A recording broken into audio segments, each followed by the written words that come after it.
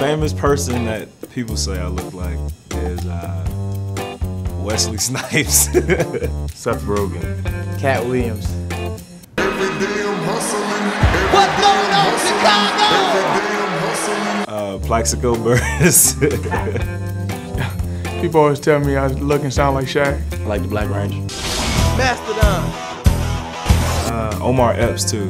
I heard that a couple times. So Omar Epps probably. John Cena, probably. A lot of people have said that I look like Chris Brown.